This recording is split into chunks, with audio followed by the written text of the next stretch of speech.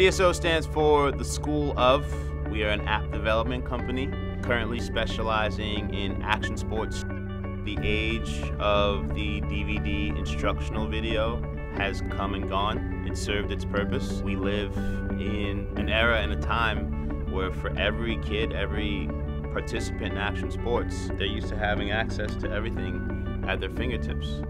Been a part of this thing for 22 years, from when I had to wait for a magazine to come in the mail and hope that there was some sort of little piece of instruction.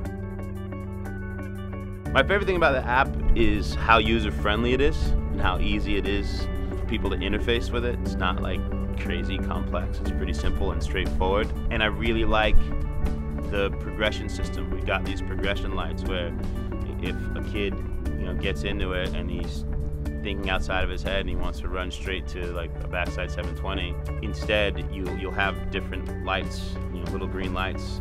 But as you learn a trick and master it and say that you've done so, it points you in the direction of where you need to go, so you can have real natural progression.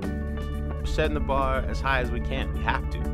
We're launching in Wake with Harley Clifford, best wakeboarder on the planet, Reed Hansen, Corey Bradley.